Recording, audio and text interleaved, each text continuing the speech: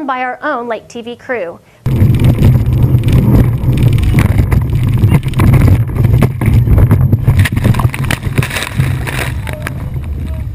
Fiverr